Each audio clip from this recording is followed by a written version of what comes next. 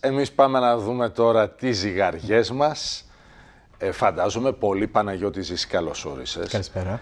Θα δοκιμάζουν αν τέλειωσε η μπαταρία για τις ηλεκτρονικές, αν κάτι δεν πάει καλά με το δίκτυο, αν πήγαν παίξαν τα παιδιά και την ξεχαρβάλωσαν. Σπάνε το κεφάλι τους να δει τι, να Τέτοια δουν τι πράγματα. συμβαίνει. Ε, ναι, γιατί έτσι. σου λέει τα κάνω όλα σωστά. Πάω στο ζήσει, μου τα λέει, τα ακολουθώ. Τι δεν γίνεται; Και όμως μπορεί να συμβαίνουν διάφορα. Άλλος λέει όταν γεμίζει το φεγγάρι δεν χάνουμε. Όταν χάνει, χάνουμε κι εμείς. Τα Μπορεί έχεις να ακούσει ευθύνεται κι αυτά. αυτό. Έχει να κάνει με τα υγρά του σώματος και φυσικά με την Έτσι. παλήρια. Έτσι μπορεί να ευθύνεται και αυτό, αλλά Λοιπόν, ευθύνεται Πάμε και να άλλοι δούμε πολλοί λόγοι. τους πιο πιθανούς λόγους, οκτώ λόγους έχει ξεχωρίσει εδώ ο Παναγιώτης Ζήσης, γιατί κολλάει ενίοτε η ζυγαριά.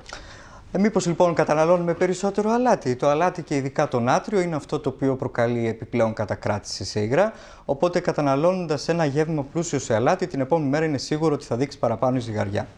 Μήπως έχουμε έντονη άσκηση; Είναι το, Θα το με δεύτερο. τρελάνεις τώρα, η έντονη άσκηση πώς σχετίζεται; Α, σχετίζεται. Όταν η έντονη άσκηση είναι άσκηση αντιστάσεων, με βάρη Ναι. δηλαδή, αυτό αυξάνει την, ε, τον όγκο του αίματος του ΣΜΙΣ, άρα προκαλεί μια πρόσκαιρη αύξηση του σωματικού βάρους και όταν αυτή η έντονη Κάτσε, άσκηση... εντάξει, αν, αν εννοείς ζυγιστή στο γυμναστήριο. Αμέσως μετά, έτσι. Αλλά όταν αυτή η έντονη άσκηση μας κάνει να αυξάνουμε και τη μυϊκή μας ε, μάζα, επειδή η ζυγαριά, όπως θα δούμε παρακάτω, αξιολογεί ένα συνολικό βάρος, ε, μπορεί να συμβεί μια αύξηση της μυϊκής μάζας, παράλληλα να έχει πέσει το λίπος και παρόλα αυτά να μην φανεί μια ε, διαφορά. Κα- όμως αυτό είναι καλή καλό. στη διαφορά. Αυτό είναι καλό, βέβαια, αλλά η ζυγαριά Ωραία. δεν μπορεί να μας το δείξει. Γιατί όταν το είδα να το γράφεις, ε, λέω Έτσι.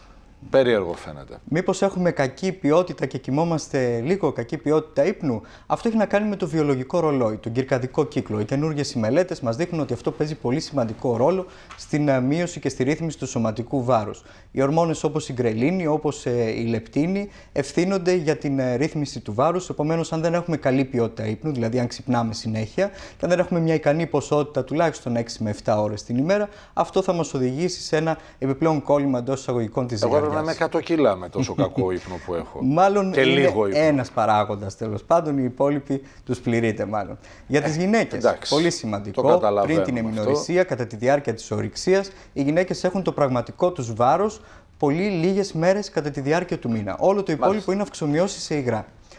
Πάμε να δούμε και την επόμενη κάρτα. Μήπως υπάρχει πρόβλημα με σπαστική κολλήτιδα, με σύνδρομο ευερέθου του εντέρου. Εκεί πέρα αυξάνεται το βάρος γιατί αυξάνεται η κατακράτηση των υγρών.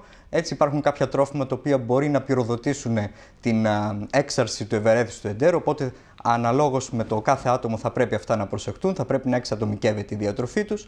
Μπορεί να υπάρχουν βέβαια και διαταραχές στο θηροειδή. Όταν λοιπόν υπάρχει μια διαταραχή στις ορμόνες TAF3, TAF4 και TSH, τότε εκεί πέρα θα πρέπει να ρυθμιστεί πρώτο ο θηροειδής, έτσι ώστε να έχουμε μια καλύτερη ρύθμιση του σωματικού βάρους.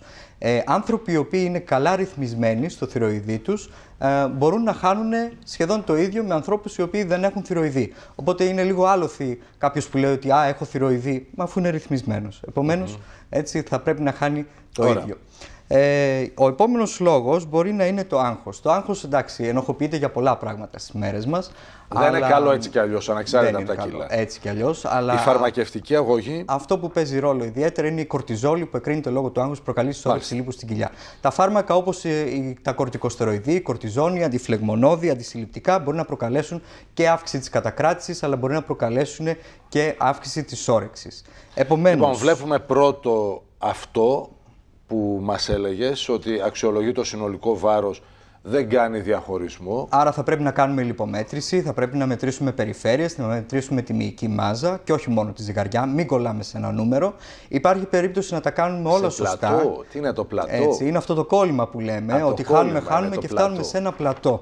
Να, μην τα κάνουμε, λιπ- να τα κάνουμε όλα σωστά και να μην χάνουμε. Τι κάνουμε σε αυτή την περίπτωση; Έτσι, είναι η επόμενη μας κάρτα που α, θα πρέπει να ξέρουμε να- ότι δεν πρέπει να ξεκινάμε με πολύ αυστηρές δίαιτες γιατί μπορούμε να κολλήσουμε πολύ πιο γρήγορα. Ε, θα πρέπει να, μει- να μην μειώσουμε κι άλλο τις θερμίδες. Αυτό δεν είναι μια καλή λύση, διότι με το να μειώνουμε κι άλλο τις θερμίδες ο οργανισμός κολλάει πολύ πιο εύκολα. Θα πρέπει να κάνουμε μια εβδομάδα ελεύθερη διατροφή ή να αυξήσουμε για λίγο Το τις ελεύθερο δεν θερμίδες. σημαίνει ασυδοσία, φαντάζομαι. Ε, όχι ακριβώς, αλλά να αυξήσουμε σε γενικές γραμμές λίγο τις θερμίδες κατά 4-5 μέρες, ενώ μπορούμε να αλλάξουμε τα μακροθρεπτικά συστατικά, δηλαδή εκεί που τρώγαμε παραπάνω υδατάνθρακε λιγότερες πρωτενε, μπορούμε να κάνουμε το αντίστροφο για κάποιες μέρες και φυσικά να ξεκινήσουμε αερόβια άσκηση που βοηθάει πολύ. Και αν δεν έχουμε βρει λύσει λύσει στο πρόβλημά μας, να απευθυνθούμε σε έναν πτυχιούχο διαιτολόγο, διατροφολόγο για να μας λύσει το πρόβλημα. Ε, ναι, γιατί τώρα να παίρνεις από το περιοδικό και αυτή είναι η διατροφή της Φέης ή της Ελένης ή της Τζένιφερ Άνιστον ή ξέρω εγώ πια. Αυτό δεν είναι λύση. Έτσι. Γιατί προφανώς και εκείνες δεν τα κάνουν μόνες τους. Εξατομικεύουμε πάντα. Δεν τους καπνίζει ένα σενάριο δίαιτας μια μέρα έτσι και αυτό τηρούν. Έτσι ακριβώς. Ευχαριστούμε θερμά Παναγιώτη Ζήση.